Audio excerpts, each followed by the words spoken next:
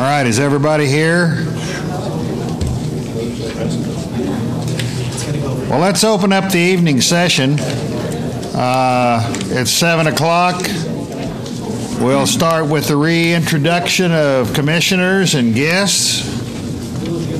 Starting on my left, Don Budd, Kansas City. Robert Wilson, Pittsburg. Frank Meyer, Herington. I'm Gerald Lauber from Topeka. Tom Dill, Salina. Randy Doll, Leon. Sheila Kemmis, Commission Secretary. Chris Tymeson, legal counsel. Uh, Keith Sexson, Assistant Secretary Pratt. And I think we also have Commissioner Bolton available on Skype. Deborah Bolton, Garden City. Thank you very much. So far, so good. Can you hear us okay, Deborah? I can hear you well. All right. Appreciate you joining us. Um, this would be the time where we would have any uh, public comments on non agenda items. Are there any public comments on non agenda items?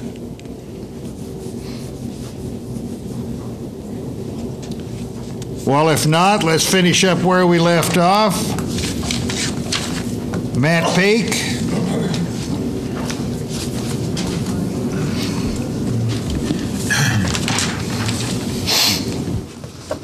All right, thank you again, Mr. Chairman. Uh, So I'll be talking about the antelope regulation 115.25.7 now. Um, The only change I have since the last commission meeting is that we now have permit allocations. Um, We've completed the surveys, and uh, those are provided. Uh, In Unit 2, 100 firearms permits and 26 muzzleloader permits. In Unit 17, 40 firearms permits and 12 muzzleloader permits. And in Unit 18, 10 firearms permits and 8 muzzleloader permits. These um, recommendations are the same as last year in Units 2 and 17, and this is a decrease by six permits in Unit 18, where we had uh, very poor um, fawn production this past year due to the drought. Um, So we're, we're sort of uh, reducing permits by a few now. That, the, this year's poor, or last season's poor fawn crop won't be uh, really felt in terms of hunting until uh, the year after next, when those animals would have been two and a half years old. So with that, I would turn things back over to the commission. Anybody have any questions from the, co- uh, the commission? Have any questions? I do have a comment. uh, If you're looking at, you know, the the finder deal, electronic, whatever it is, you- you might look at deer, antelope, and elk while we're at it. Okay.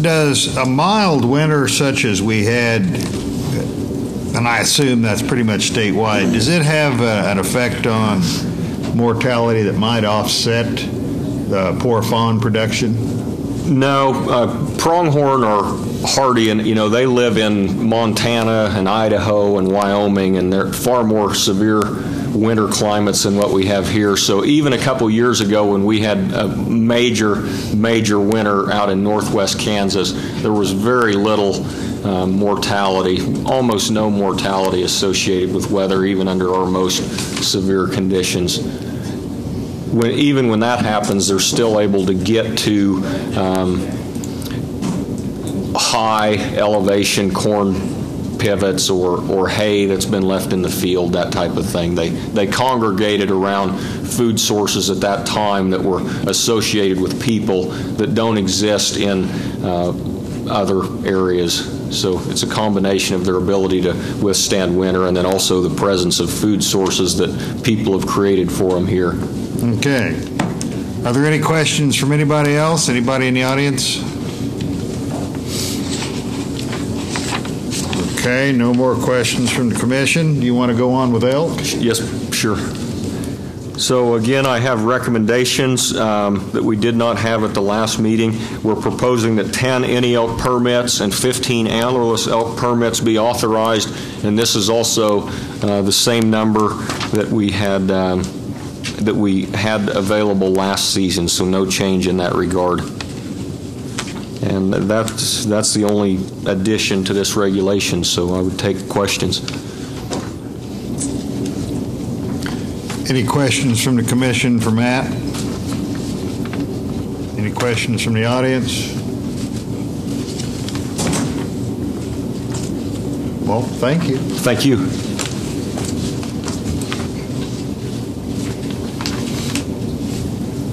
All right, uh, let's see. Jim, I think you're back again.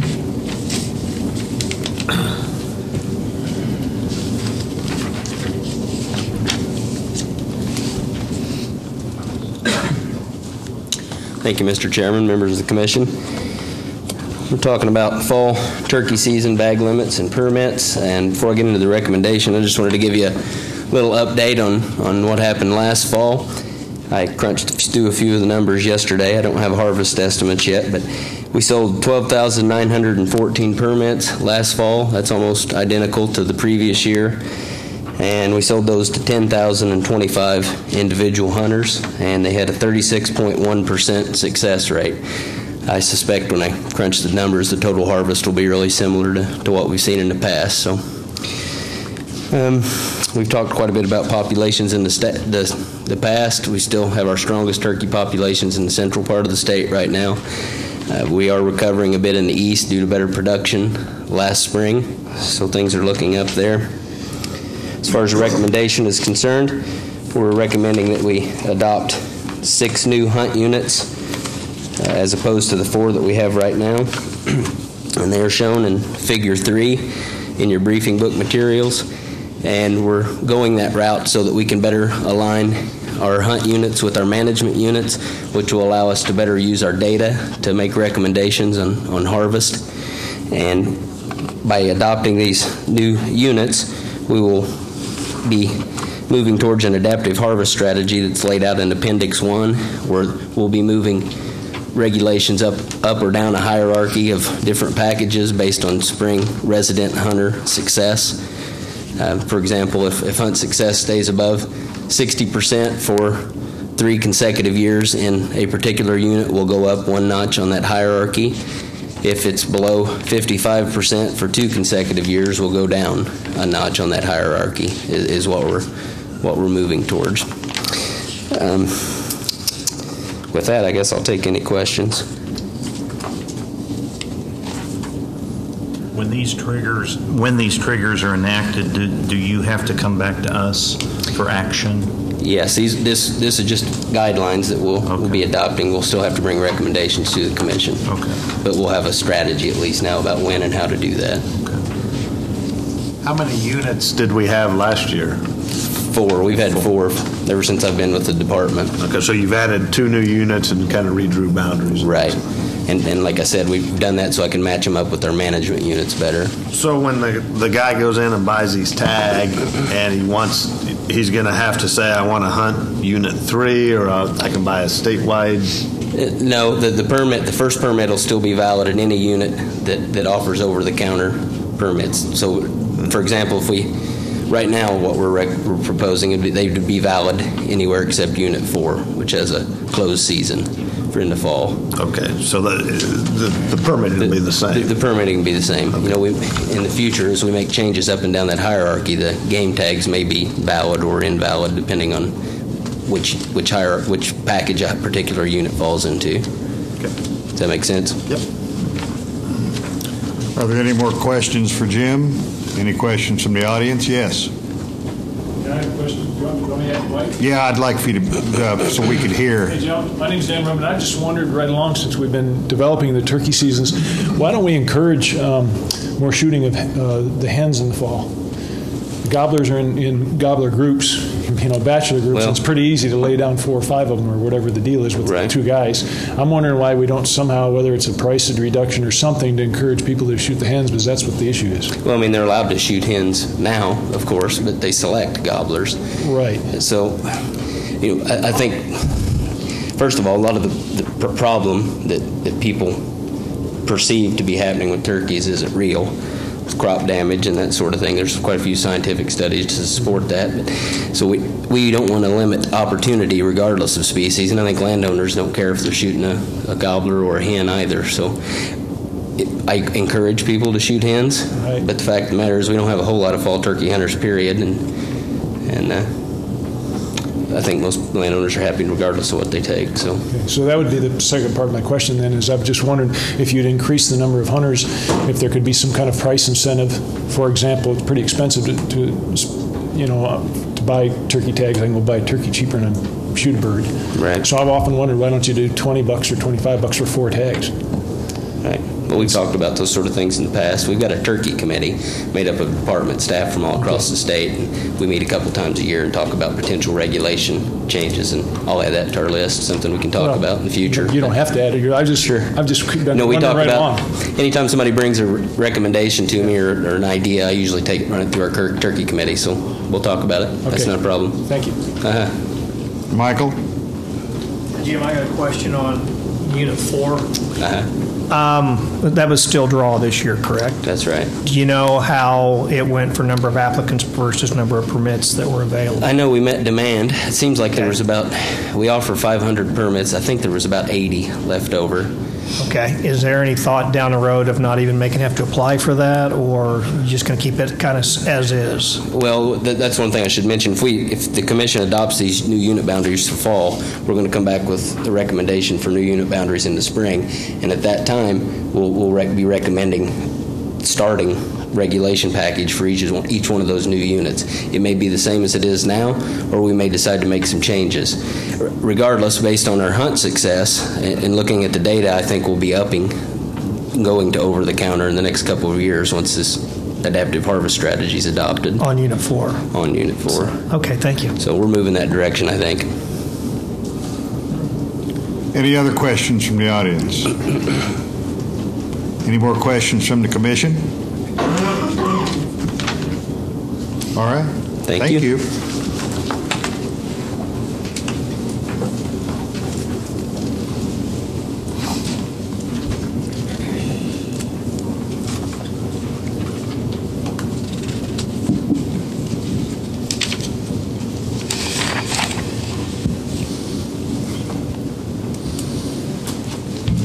Okay, Lloyd?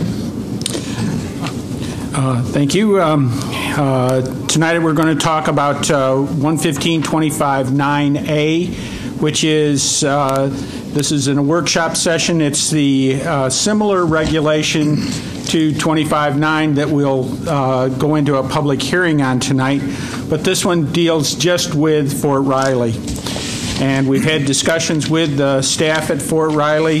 Uh, The items that uh, we have for discussion, uh, they would like the regular archery season and muzzleloader season the same as is listed on, in 25.9, with some uh, uh, changes, and I'll get to those later. Uh, On the extended firearms season, they would like the same dates as we have in 25.9, but not to include the special extended season that's available in Unit uh, 8, uh, 7, 8, and 15. So they would have similar to the rest of the state other than those three units. They would like a um, uh, season for youth and people with disabilities, also the same as 25-9, but they would like four additional days, um, October 5th through October 8th, the Columbus Day weekend.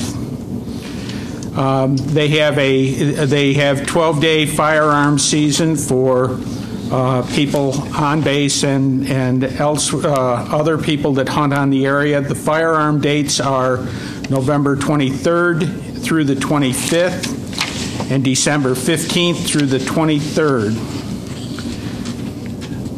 They're requesting three additional days in January, January 19th, 20th, and 21st. And those would be three days uh, when only personnel, uh, as authorized by the fort, could hunt for antlered deer.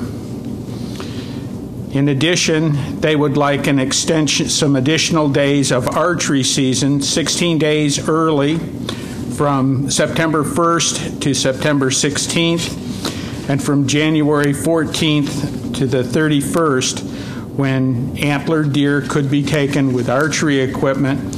And this would be for individuals um, by uh, uh, special authorization from Fort Riley. Uh, That's, um, that's the, their uh, request at this time. Are there any questions or comments? Mr. Chairman, um, Lloyd, uh, the Fort Riley, how many permits do we sell, or what's the usage on, at Fort Riley? Uh, They, we don't have a separate permit that is sold just to Fort Riley. It would be the same uh, permit as in our, um, uh, in our, for example, whitetail either sex or the whitetail antlerless only. Uh, Sean, can you tell us uh, how many days or how many people are actually hunting on the fort? They have a check station, check people in and out. Yep. Sean Stratton, Fort Riley Conservation. Uh, we have we had last year a total of uh, 763 deer hunters on the installation. That includes military, civilian, retirees, non-residents, whole kit and caboodle. And so 763, how many deer were taken? we had 354 deer harvested on the installation last year. Okay. All right, thank you. Yep. Sean, don't go to nowhere. Yeah, Lloyd, are, are all soldiers considered to be resident? Uh, Yes, uh, a a, uh, uh, personnel stationed on Fort Riley uh, could get a resident deer permit. Okay. Sean, what what's the reasoning for asking for the gun season from the 23rd to the 25th of November? Um, the 23rd through the 25th is Thanksgiving holiday weekend. we have to focus our firearms deer season days around the training holidays of our soldiers. If we were concurrent with the state of Kansas, the majority of our installation would not be available to firearms deer hunt because of the training that's occurring. So we focus our firearm deer days around the training holidays. Would you be opposed to making that an antlerless only season? Um, those, those particular days? I believe, uh, yes, right now we would be. We've had that uh, Thanksgiving, we've had that Thanksgiving weekend. Uh, the 10 years that I've been at the installation, we've had that season out there. And it goes back, I believe, probably to the 80s, probably, Lloyd? Long time. Yeah. oh, we've had this in place already then? Yeah. Yes. Oh, well, I thought this was something new. I'm new, so I thought it was new. okay, I'm sorry. That's okay. Okay. No. Any other, any other questions? Any question for Sean? Any more questions for Lloyd?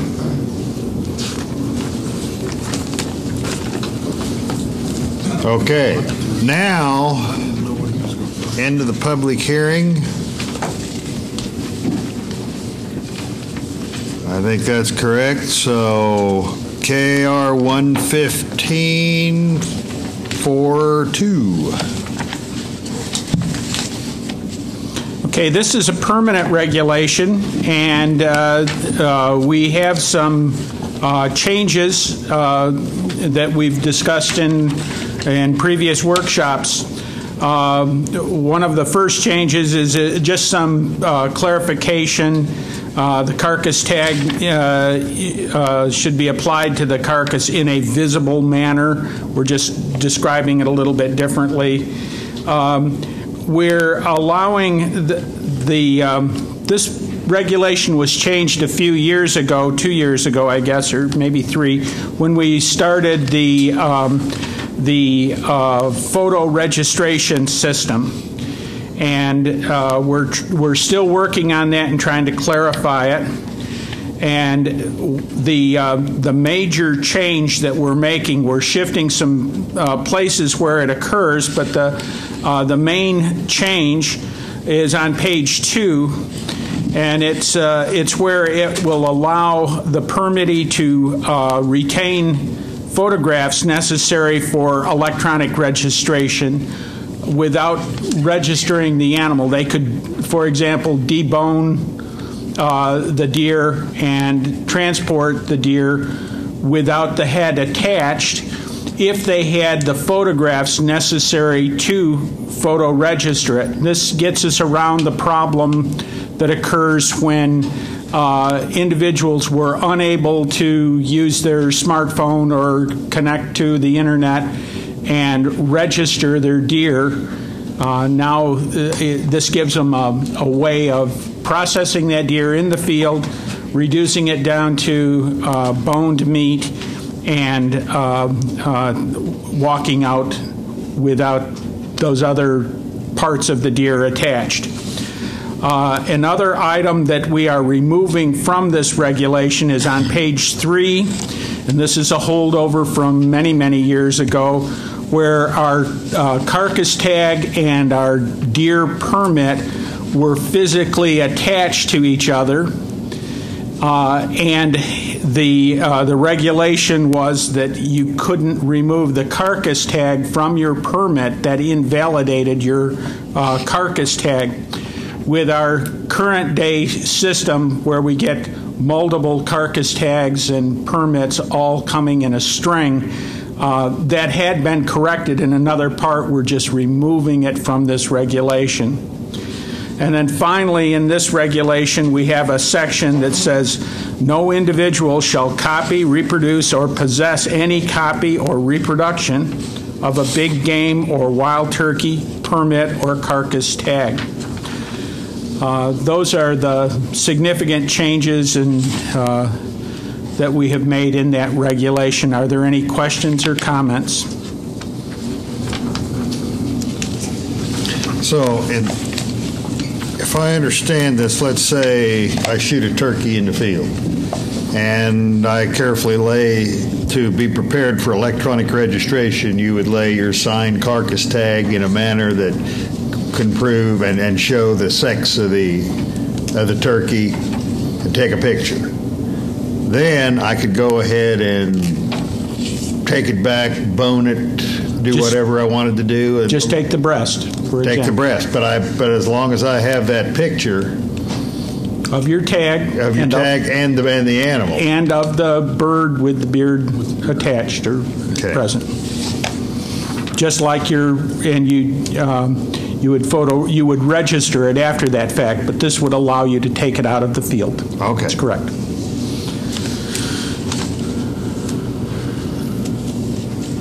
Is there any questions for Lloyd from the commission on this one? Are there any questions from the audience? Well, now this is one where we, we vote, and I don't think there's any amendments No, not for this. on this one. So, could I have a motion that we approve this? Mr. Chairman, I move that we approve KAR 115-4-4 as printed with changes.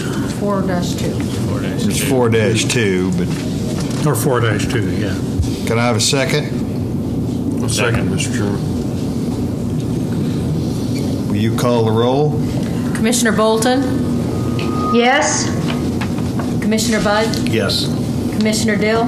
Yes. Commissioner Doll? Yes. Commissioner Meyer? Yes. Commissioner Wilson? Yes. Commissioner Lauber? Yes. Pass seven zero. Okay. 115 4 4. Big game legal equipment and taking methods. Okay, uh, this also is, uh, uh, we have today, tonight, uh, a uh, regulation that has been stamped and approved by the Attorney General and the Department of Administration. This is a a regulation that includes uh, Section um, uh, 3, um, A, Section F, 3, uh, which will allow uh, anyone with a youth big game permit or an individual 55 years old or older uh, to use a crossbow, and we've specified criteria of that crossbow. Um, They would be able to use that uh, during an archery uh, season. We'll also allow that, uh, that crossbow and those uh, people to use uh, archery equipment during a muzzleloader season, as similar to uh, the way we have in, in other, um, with our other archery equipment. Um, Then we have uh, a section the- on page four, it's section E, and it's, um, uh, this is uh, one that has been giving us some problems with coming up with a solution, and it's one that we have an amendment for you. Uh, The way it is in your briefing book is it states, "Big game permittees shall possess hunting equipment um, while hunting only as authorized by this regulation and by the most restrictive big game permit in possession while hunting. And that was struck in this particular, uh, in this version. The amendment to that puts that right back in as it is. Are there any questions or comments on uh, this, on Regulation 115-4-4? I have one, Lloyd. I don't understand quite the amendment issue. Or Chris, would you? The amendment issue comes from the discussion that we had at the last commission meeting and ultimately the legislation that just passed, House Bill 2491, where the proponents uh, of that legislation also wanted to see if the commission would strike this language. And as it turns out, based on the timing of the regs, I had to, in order to act on it, I had to put that in there so the commission could have acted on it tonight. But what we're recommending is to leave it as it, to, to amend it back to So the that way we it won't be counter to statute that allows handguns. No, uh, it would still restrict, for example, rifles. I, I understand, but I mean, it's because of that, the fact that the, the statute allows handguns, while previously anticipated to allow any, any guns, was amended, compromised to handguns, but that would be in conflict with this. It'll supersede whatever we put in here, that handgun provision that's in statute. That's, so that's not the issue, but we need to put it back in to say you can't take your AR-15 to the stand with you when you're bow hunting. Okay. Well, questions from the commission? Mr. Chairman. uh, Go ahead. uh, So when is, when does crossbow allowed then, uh, as indicated in both of these? Lloyd? Okay, a crossbow would be allowed for any individual who has a youth big game permit or any person who is 55 years old or older. When? I'm sorry, What, when? what seasons? Yes. This would be the archery season starting in 2000, this fall, Okay. So the standard archery season allows it for those individuals? for those individuals. Okay. That's correct. And Mr. Chairman, just so I understand, so 115-4-4, Chris, you're not recommending that. You're recommending 4A. Am I? No. No? Uh, both four and four dash four and four dash four A are two separate regulations, and the recommendation is before you. Both of them need the amendment. The language is the exact same. One deals with big game, one deals with turkey. Oh, I see. Okay, we're going to act on both of them. Gotcha. Okay. Thank you. I would, I kind of disagree with the 55. I'd like to see that 65. You know, you're still a kid at 65. I may be. in- Thank you. Maybe 60, but I think 55 is too young. But uh, we may not be able to get that through the legislature, I don't know, but uh, personal feeling, okay? Other Chairman. questions? Yes. J- Mine's back for Chris again, just so I'm clear on the amendment. So we're saying we would want to do the amendment to add it back in because we had to strike it from the original that we had to send to them for approval? Right. It's somewhat complex in that if you don't notice, if you don't notice up a change in the reg, you potentially run afoul of some legal considerations that the legislature passed last year. Used to be you could amend on the fly, now you can't. So I, I've got it. So in essence, we really want to do the, when the vote comes, we want to vote for the amendment first. Right. And then we'll vote for the other. Right. Okay. And then continuing on, I guess, on my part, just simply the fact that I think that department's recommendation, 16 and under and 55 makes sense. Um, you know, I want to retain as many aging sportsmen as we can. I want to encourage the youth to participate. Not limiting anybody's choice. I just want to still enhance the opportunities. So I think it's reasonable. Having been to down to the uh, legislature and sat through a couple of the, uh, or at least sat through one of the Senate bill hearings, I think this is something we really need to do so that we can actually regulate it and not be legislated. Um, I concur, Commissioner Dill.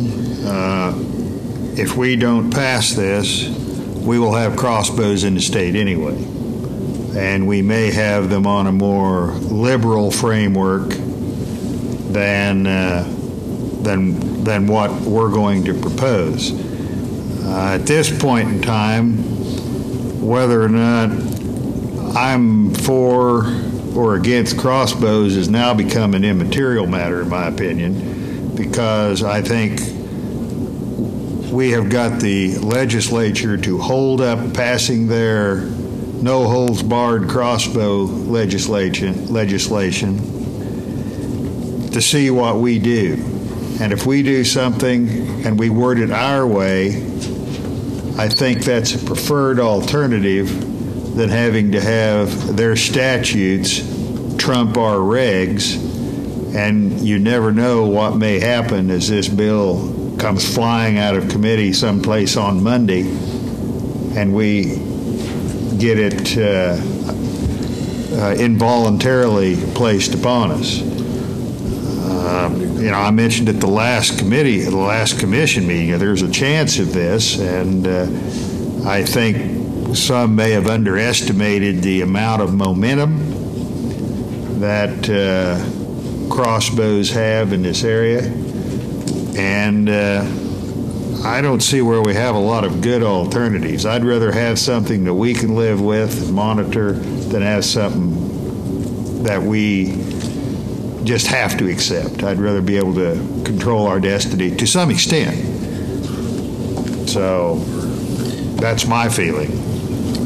If I could follow up again, I mean, I think it's the right thing to do. The reality is, is quite honestly, we could still do this, pass this this evening, and come Monday or Tuesday, if I understand correctly, we still might have all-inclusive no matter what. So I think it's the right way to do this.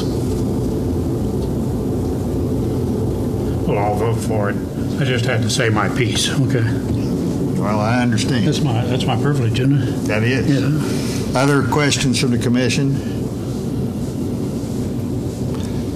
Questions from the public? Comments? Yes, please. Come up and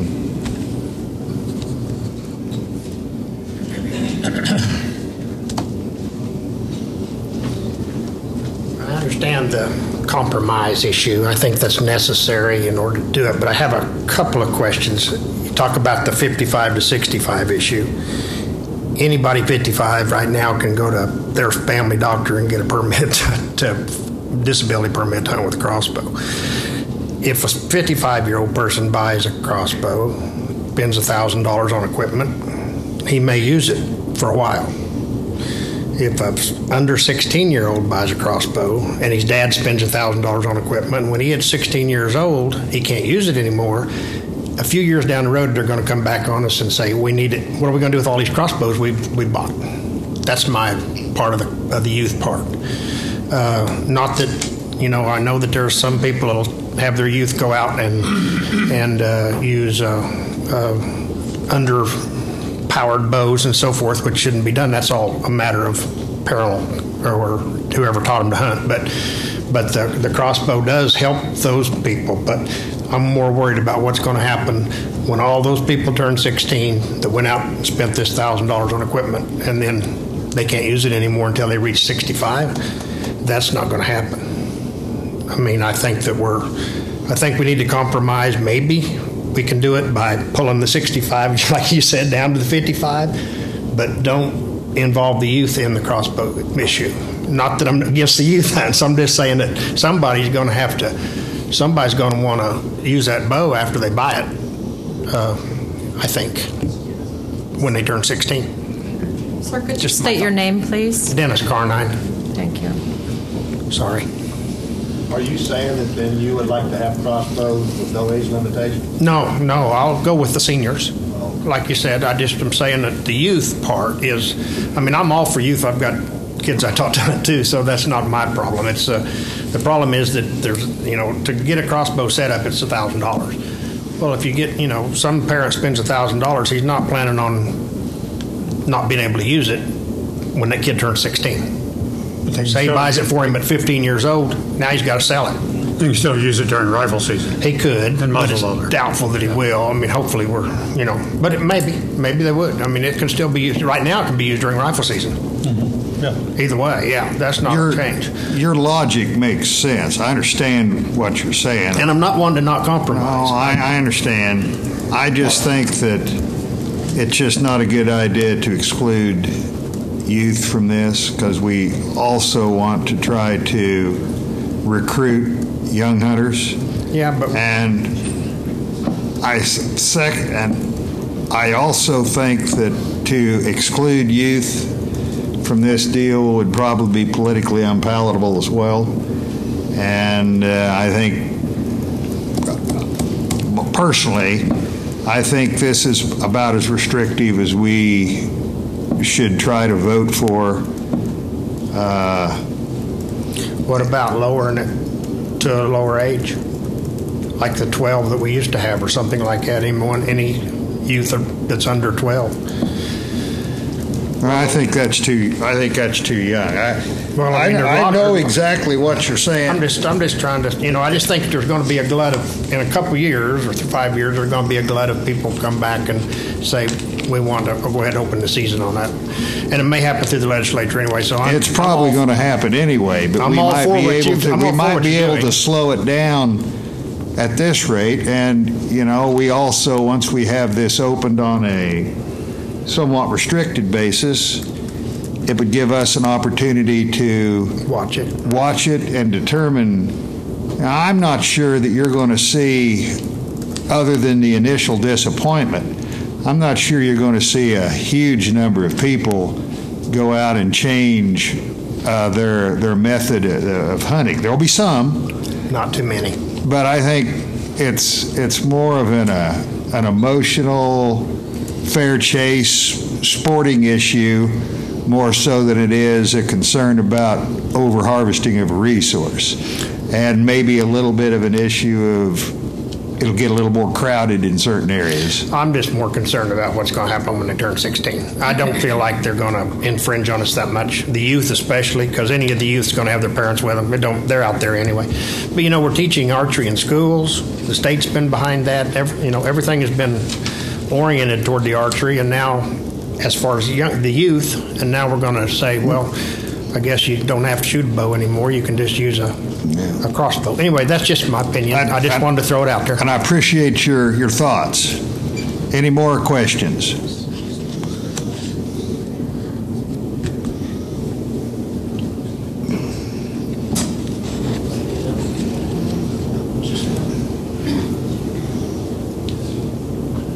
Uh, Marvin Whitehead, uh, Kansas Bowhunters Association.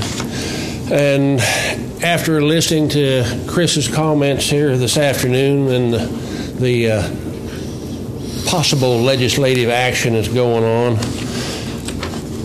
you know, I've I've been all against uh, you know getting tired of compromising. I've, I've been getting tired of compromising. I'm not against it, but uh, I'm beginning to think that I guess maybe it would be a little bit better to compromise than be force fed something in a few days. But uh, kind of like the other gentleman said, uh, no matter what happens here, uh, if we're if you're not uh, talking crossbows next year or the year after with the youth, I'll eat my dirty old camo hat. And it's pretty dirty. But but with the, I mean that that's the only downside I can see to the under 16. And as you all know, one or two people holler, and seems like it gets as much discussion as a hundred people hollering. But thank you. Thank you. Other comments? You know, while he's coming up, to address that under 16 issue, if we all think about it with our kids when they were growing up, from 12 to 16, look at what we spend on sports uniforms, 4-H stuff, things like that. A lot more than a thousand dollars. If I could have got rid of my son and only spent a thousand dollars on him from 12 to 16 that I threw away, I'd be the happiest guy in the world, you know. So I don't know that the money's going to be that big issue because we spend so much on our kids anyway. I think the issue is just like Tom said, getting the kids involved. I think that's more important than the dollars we're going to spend. Bob Griffin. Uh, Bob Griffin from Lebo. Um, I guess one of my first questions is you spoke about watching the effects of the crossbows, what what effect they have on the on the deer herd and, and the bow hunters. I have a hard time understanding how we're going to watch the effects of that when we have no idea of who's using a crossbow because our tags can be used for any weapon during any season, most any part of the state now. So, how can we tell how many crossbow hunters we have, where the deer are being taken from? We have no idea. Well, among other things, I think, granted, we have to rely on hunter surveys, but I think Lloyd has some information that will indicate about what percentage of our hunters are using crossbows now. And assuming that the same relative level of veracity occurs on future uh, surveys, we're going to know how much crossbow usage rises. Right now, we believe that crossbows represent what less than three percent of the preferred or the the the harvest tools. Right. It was about um, 300, uh, 350 animals uh, uh, out of 89,000 or 94,000. I forget which it was, but something like that. That's what we estimated it to be. And we expect that there that that number will probably increase, or at least I expect it will increase, but I don't know how much. And that's what I meant by we would have a very legitimate reason to wait just a little bit longer before the next round, before he has to eat his hat, that uh, uh, this make. I'm not saying it won't come back. I'm not going to take that bet. Right. But I think we will have an opportunity to get a reasonable fix on how many people are using crossbows. Right. I guess the big issue is I just I, I would like to have a better system for us to be able to understand and manage the resource that we have. Um, understanding where the deer are being taken from in the state with this, you know, statewide any any weapon, any season tag.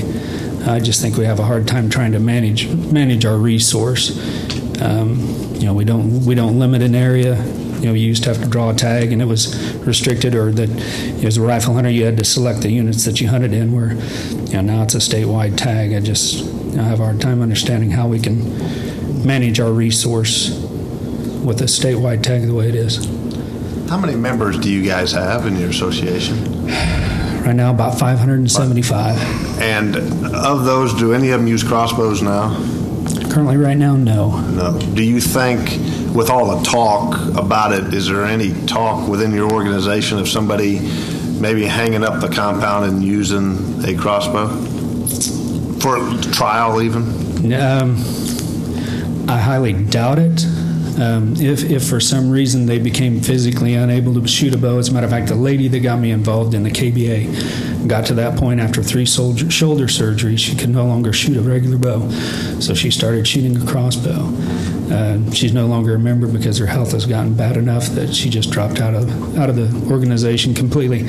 Um, that was a issue that we d- discussed at our last uh, banquet, and uh, right now I don't can't currently say how the KBA is going to stand when this crossbow issue passes, as far as our membership allowing individuals that aren't physically unable to shoot a regular bow that choose to use a crossbow.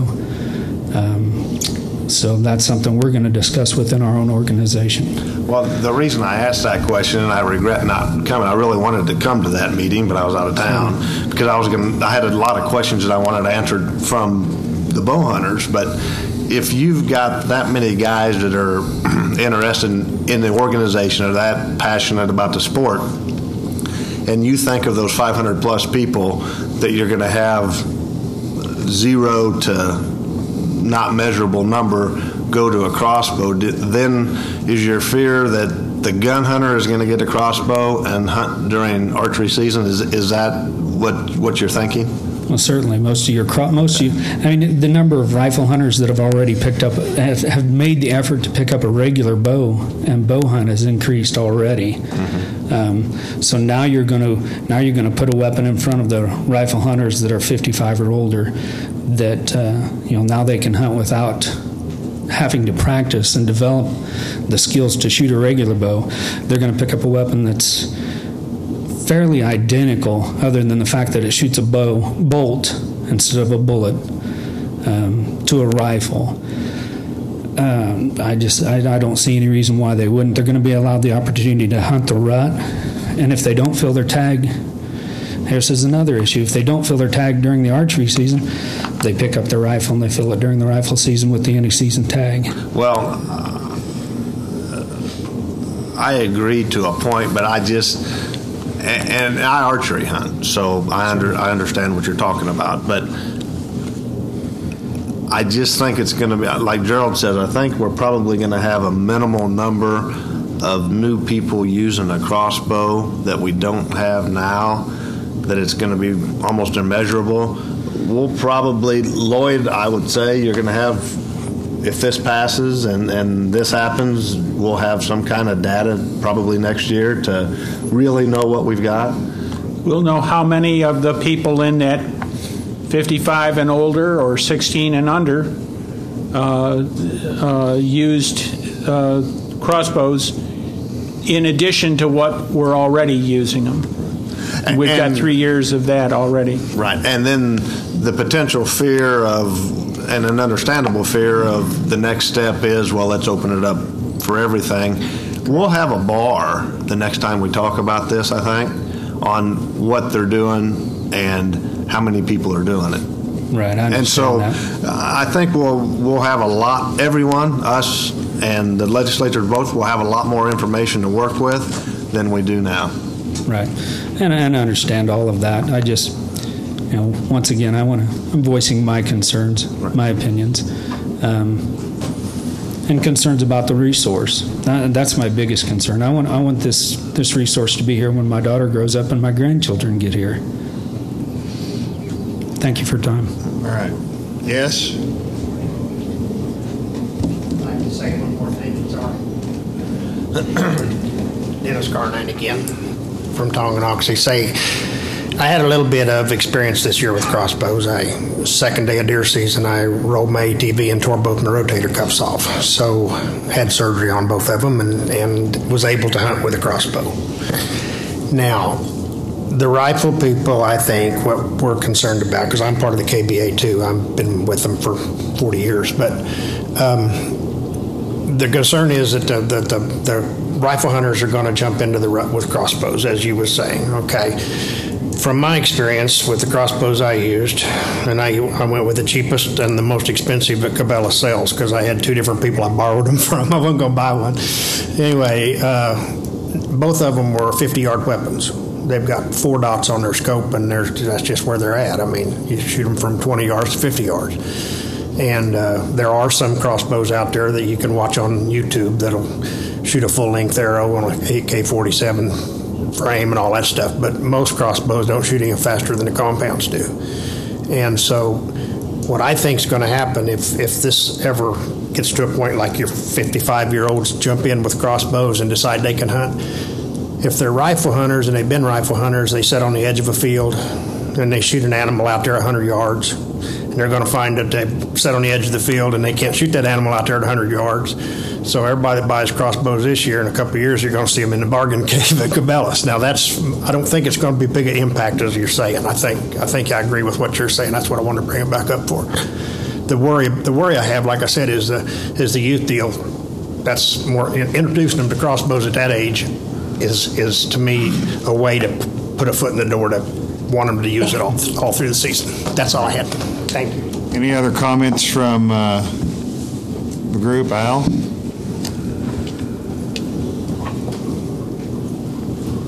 I'm Al Ward.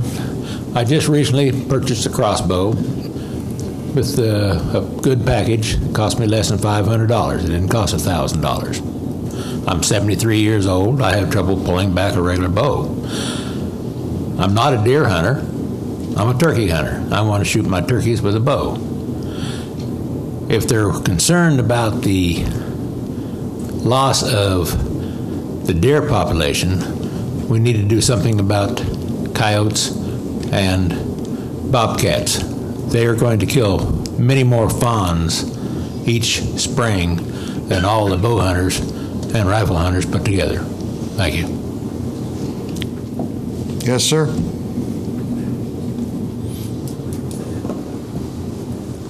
My name's Doug Peterman, Topeka, Kansas. I wasn't going to speak, but now I'm here.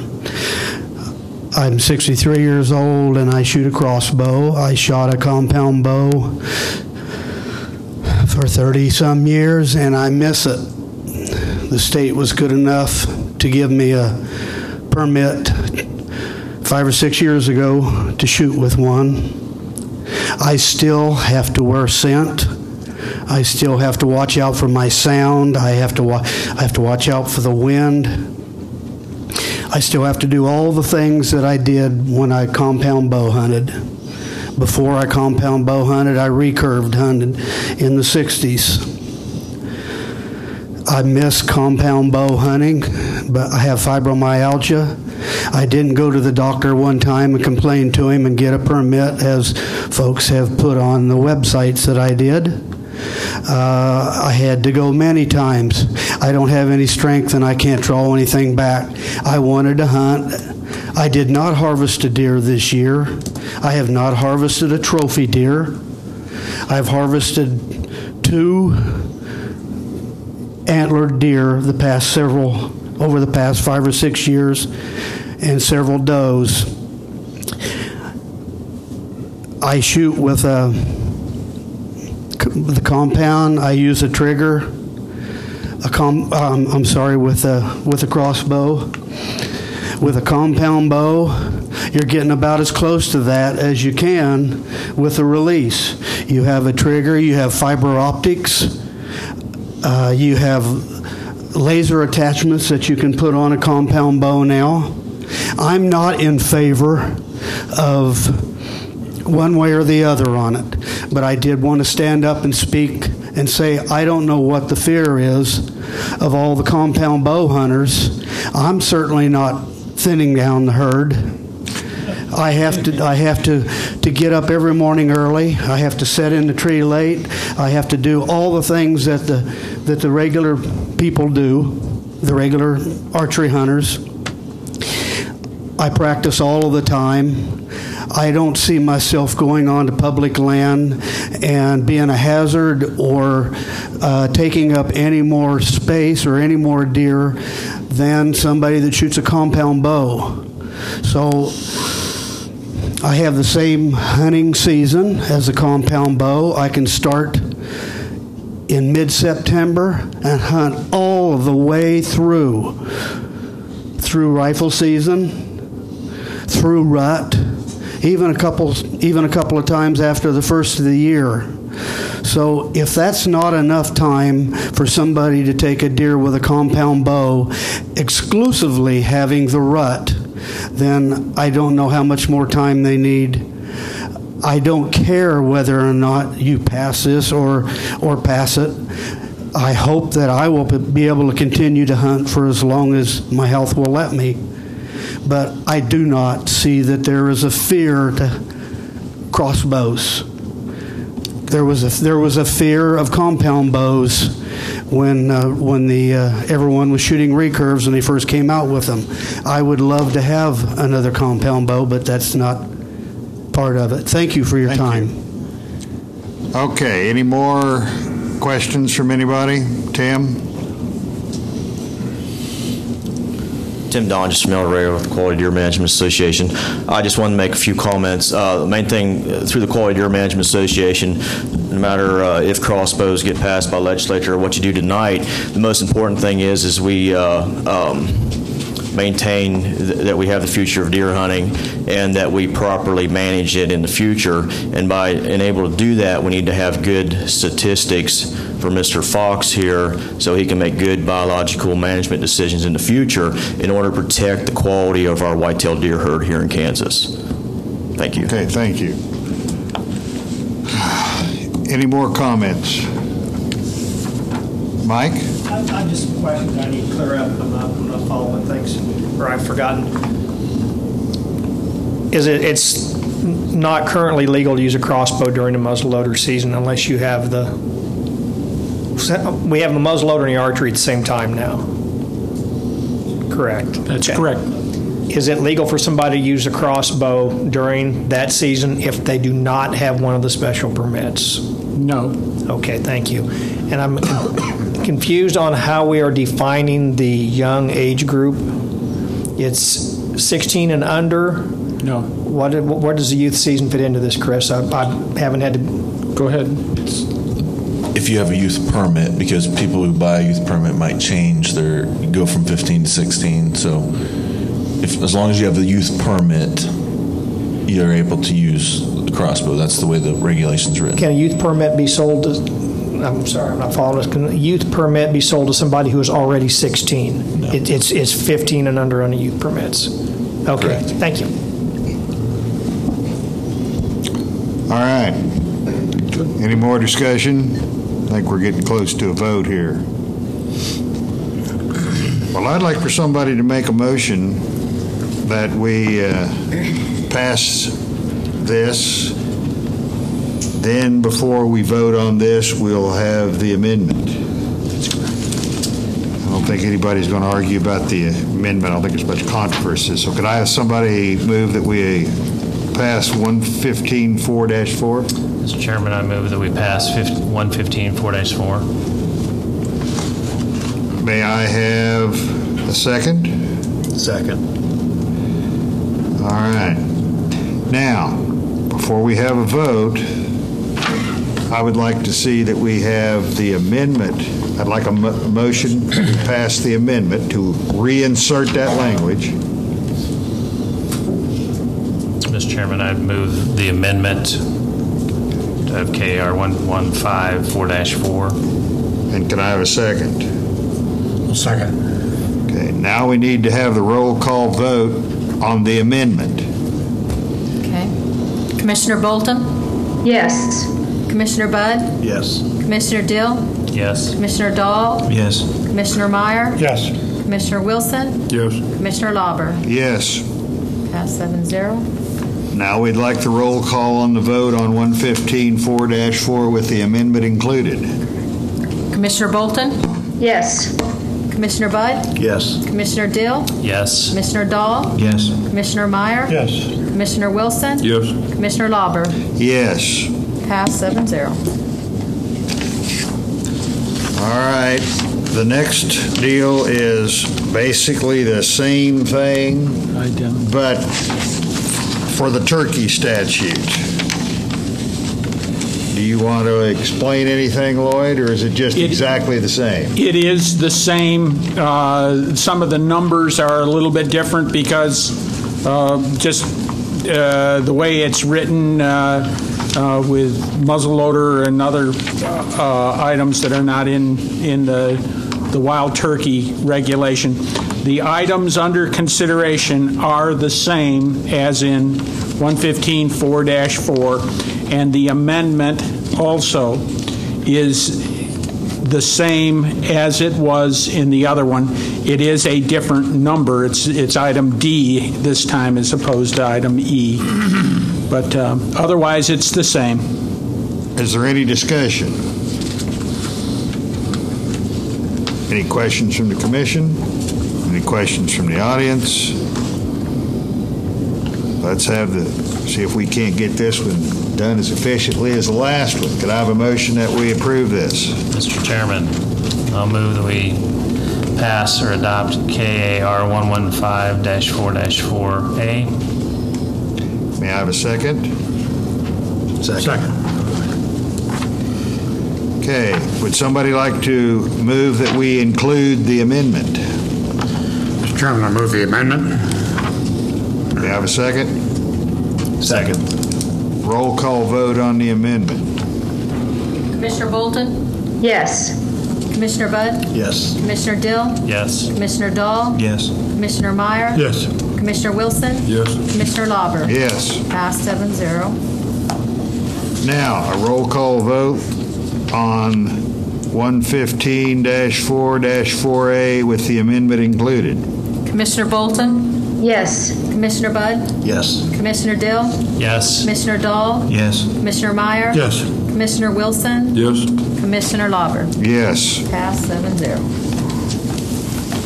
we're moving right along. You got the next one there, Lloyd? Yes, I do.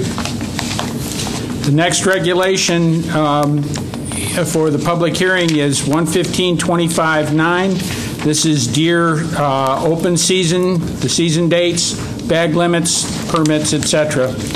Uh, And we, the, um, most of this is the same as it was last year with the changes that occur uh, just due to the calendar year being different. Archery would be September 17th through the th- December 31st. Um, Our uh, season, uh, the urban antlerless only season would be January 14th, 2013 to January 31st. We have seasons for Fort Leavenworth and also for Smoky Valley, uh, Smoky Hill Air National Guard area, those those two subunits. They're both 12 days in length, but they're broken up a little bit differently for each unit. Uh, We have an urban firearm deer season, October 13th through October 21st, 2012. The muzzleloader season would be September 17th to September 30th, 2012. Uh, The, um, oh, I forgot to mention the firearm deer dates for places other than Smoky Valley, uh, Smoky Hill Air National Guard, and um, Fort Leavenworth would be November 28th through December 9th. Uh, The season for um, youth and people with disabilities uh, would be September 8th through September 16th in all deer management units. Uh, The rest of the items are very similar to uh, previous years as far as um, uh, most everything until we get into the, um, uh, the, um, the uh, units for um, whitetail extended season uh, and the number of permits that would be authorized in those seasons. Uh, The extended season would be January 1st through January 13th, and it would be uh, statewide um, in those areas. Any unfilled uh, deer permits would convert to a whitetail antlerless only permit, uh, and it would be a firearm permit. The units, if there were units attached uh, in the initial permit, they would remain restricted to those units. Uh, We have a special extended firearm season in deer management units 7, 8, and 15. That's an additional seven days, January 14th to January 20th. Um, Let's see. Uh, This year, uh, in the, in previous years, we have allowed a uh, second whitetail antlerless permit to be used on um, Cedar Bluff. Uh, This year, we're uh, allowing whitetail antlerless permits uh, in additional units up in the northwest, and we're also allowing up to five deer uh, to be uh, taken on Cedar Bluff, five whitetail antlerless deer, Glen Elder, Kanopolis, Kerwin, Lovewell, Norton, Webster, and Wilson Wildlife Area. There is one item that we do need to note at this time. There is a misspelling in your regulation on Kanopolis. Uh, And we just need to note that, uh, that it is a misspelling. It has been corrected, I believe, in your, um, the um, uh, secretary's orders that'll come out after this. Uh, The, um, uh, we have three maps for you uh, also that show where those whitetail antlerless permits may be used. The first one is good statewide, including all department lands. The second one is good also statewide and uh, those various uh, public areas in the northwest and north central part of the state. And the, um, uh, the last three whitetail antlerless permits are valid in Deer Management Unit 1, 2, 3, 4, 5, 7, 8, 11, 12, 13, 15, 16, and 19. New units uh, for those permits include Deer Management Unit 1, 2, 3, 4, 5, and 11. Are there any questions on the, uh, the recommendation and the regulation as it is uh, uh, presented to you for uh, 115.25.9? Any questions from the commission? Any questions from the public? Any, An amendment. We're going to do a conceptual amendment to fix Kanopolis. okay. A virtual amendment. It's not written in of Okay. I would like a motion that we approve this uh, s- section. Mr. Chairman, I move that we approve KAR 115-25-9. May I have a second?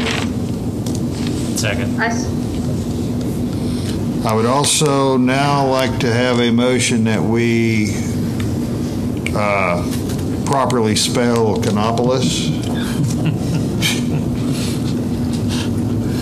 I Don't ask me how to spell it. You got Deborah moved All it. right, can I have a second? Second, Mr. Chairman. All right. Who seconded? I'm sorry. Robert? I'd like a roll call vote on the spelling of Kanopolis. Commissioner Bolton? Yes. Commissioner Budd? Yes. Commissioner Dill? Yes. Commissioner Doll? Yes. Commissioner Meyer? Yes. Commissioner Wilson? Yes. Commissioner Lauber? Yes. Pass seven zero. Now a roll call vote on the reg. Commissioner Bolton? Yes. Commissioner Budd? Yes. Commissioner Dill? Yes. Commissioner Doll? Yes. Commissioner Meyer? Yes. Commissioner Wilson? Yes.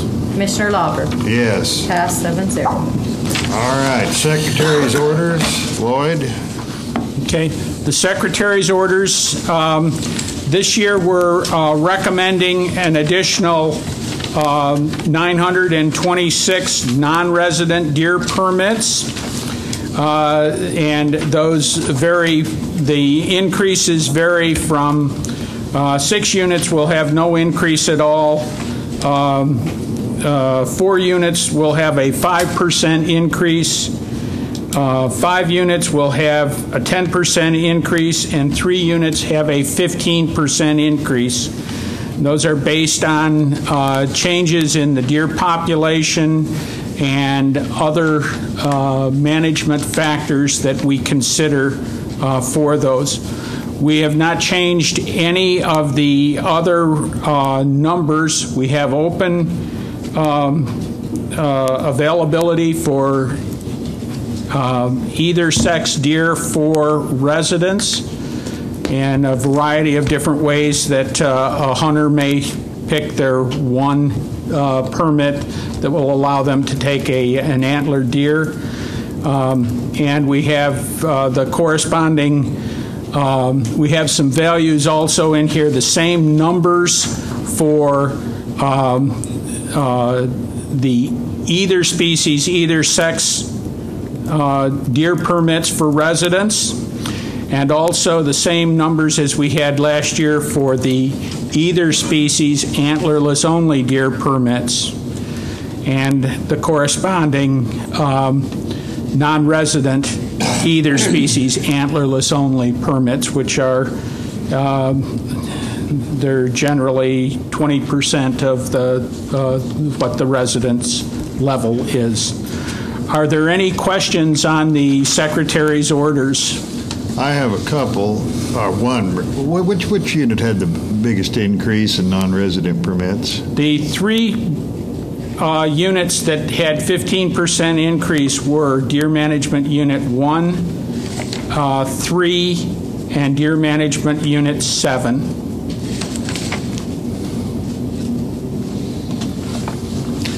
The one that I get most of the letters and calls about is uh, Unit 16. Did we have a significant increase there? We had a 5 per, the recommendation is for a 5% increase in Deer Management Unit 16. Now, we don't vote on this. This is for informational purposes. And if somebody has a complaint, they need to contact Mr. Jennison. Yeah. Boy, Lloyd gets a real deal out of this. Lloyd, I want to thank you for this process. Uh, As, as a new commissioner, you took a very complicated issue and made it pretty simple for us. Thank you. Okay, I think that's it for Lloyd. And thank you. We're sort of nearing the end for us.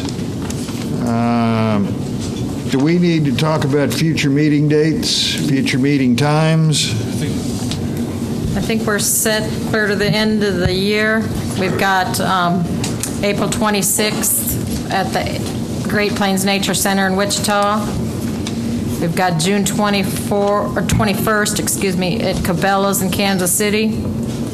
We've got August 23rd at the Wetland Education Center in Great Bend. August 23rd? Yes. And October 18th, we've got at Flint Oak Ranch, Elk City.